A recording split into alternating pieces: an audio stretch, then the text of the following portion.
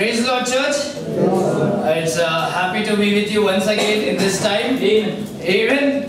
Uh, so before we start, I need to thank God for this wonderful opportunity that He has given uh, to stand before you, and for our pastor for gi- uh, giving this good opportunity. Not all the pastors give to the youngster because they might flop, but he is training us, and he's a great blessing to us, especially me.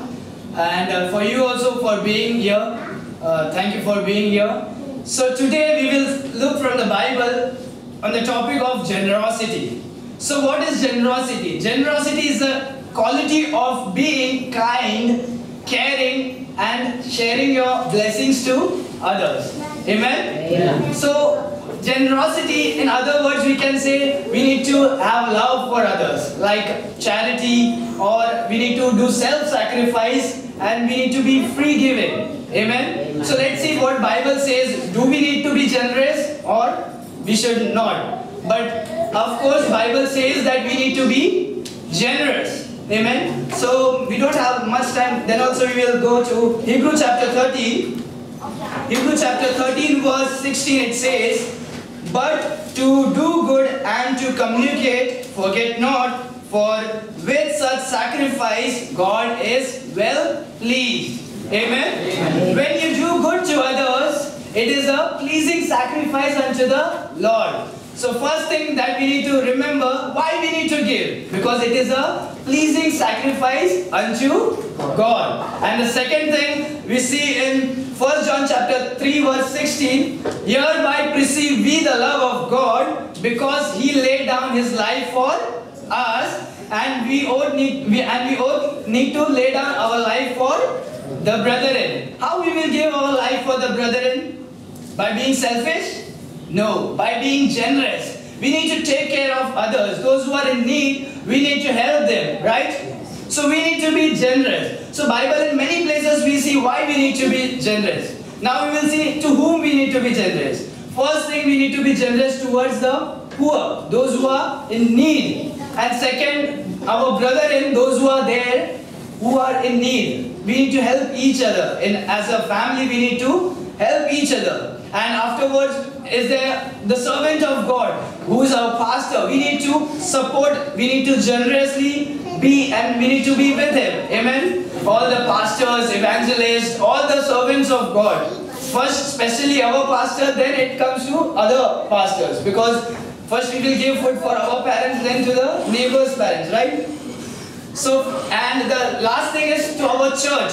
We need to be generous towards our church. In Acts chapter 4, we see the church, when the church was about to establish, it was growing, we see all the people sold their position and they lay, bought the money and laid it at the apostles' feet. In Exodus chapter 35, we see when the tabernacle was about to be made, when Moses announced the people to come and to give what they need to give for the tabernacle. People came and gave, they gave gold, silver, bronze, violet, scarlet, ointment, and many things they gave cheerfully. Amen. So we need to be a cheerless giver. That is what generosity is by Amen. taking care for them. Amen. So now we will see how we need to give. There are many incidents in the Bible which shows how we need to be generous.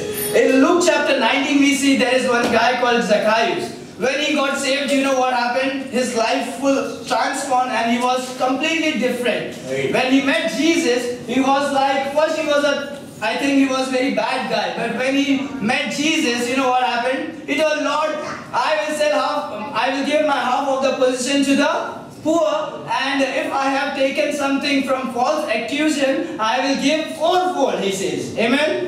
In, in Matthew chapter 6, we see when you are giving alarm to people or someone, don't make a, don't blow the trumpet and make a show off out of that. In this, what we learn, when you are helping and being generous toward or generous towards other, don't make a show off out of that. Bible says if you are doing that, that is your whole reward. Hmm? That's right. And in Mark chapter 14, we see there is a woman with an alabaster box. You know what happened? She broke the alabaster box and she poured the ointment on the Jesus' head. And it was a great blessing when Jesus praised her. You know why? Because that anointment, anointment was very costly. The Bible says it was 300 pence. if we calculate the money in this generation of this present time, it is the month of the whole annual salary of an average person. It was too much, but she gave it. So in this, what we uh, get to learn is that when you give, don't count or calculate or like this or like that. And after giving, just forget. Don't regret. Oh, did I make a mistake? No, no, no, no. That's right. You need to give. Amen. And in the last we see in Luke chapter 21, there is a poor widow who gives her last two minutes. And uh, Jesus Christ praises her. You know why? Because Bible says all of them gave out of her, out of their treasury, but this woman gave out of her penury. Means the in her distress, she gave what all she had, she gave. In First Kings chapter 17, we see there was a widow who gave her last meal for Elijah, and Bible says they ate for many days. Amen. In Matthew 14, we see a small boy brings five loaves and two fishes to Jesus Christ, the last thing which he had. And you know what happened? God just multiplied. Amen. Amen. In this case, I need to say this. When you think that you are financially not stable, you have financial crisis, that is the perfect time when you can be generous towards people. Hey, that's right. Amen. Because when you are in such a condition, when you give to the people, God doesn't add blessing, He just multiplies blessing. Amen. This is not for namesake to encourage or for to for to feel better, but this is the truth. Amen. That's right. So let's see what all happens when we are generous. In 2 Corinthians chapter 9, we see those who sow sparingly, they will get sparingly. Those who will sow bountifully, they will reap bountifully. And Bible says God loves a cheerful giver.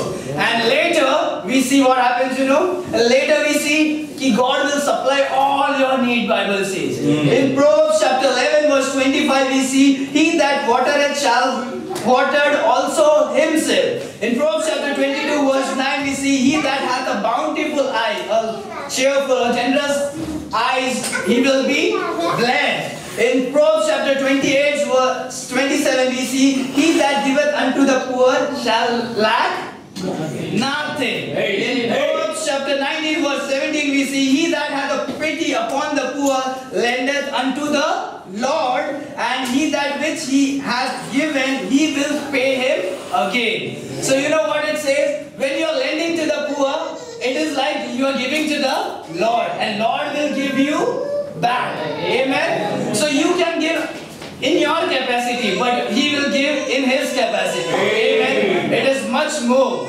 Amen. And last one, I want to say that Psalms 37 verse 26, we see, He is ever merciful. The context is speaking about the righteous person.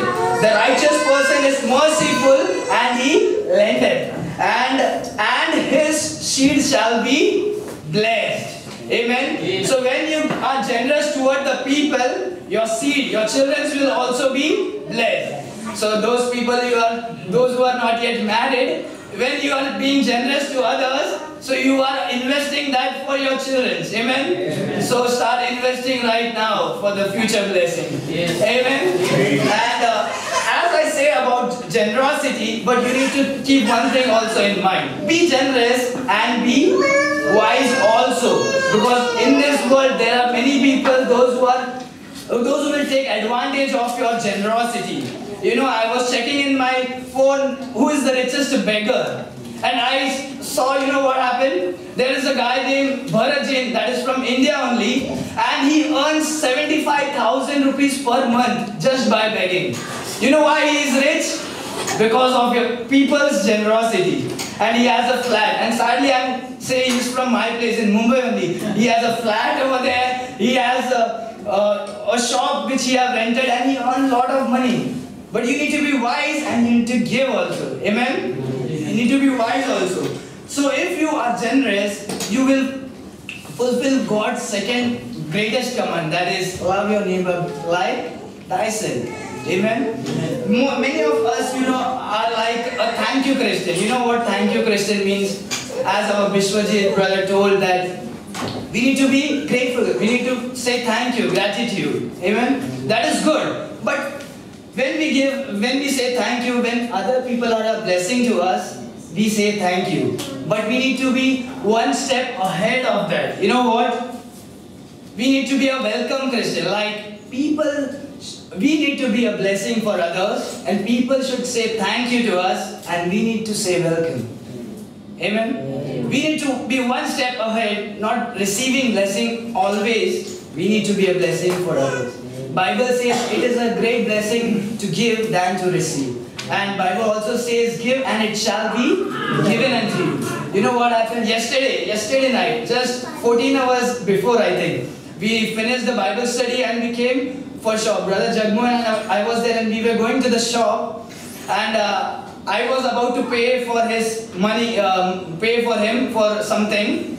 And suddenly we went there and there one boy's birthday was there and his parent came there and the, they, gave, they paid money for both of us. So I was trying to be generous toward brother Jagmohan and God was more generous towards us through that brother and he paid both our money. And it was great testimony for us. Amen. Um, so we need to be generous.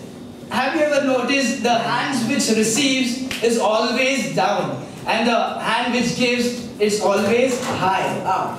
So we need to be that hand which gives and we need to be a blessing for others. Amen? Amen. Your old clothes may be old for you, but it may be new for others. Amen? Don't wait for the pastor for the announcement. Take a step forward and be a great blessing for others. Amen? So be your Lord blessed with this. Amen.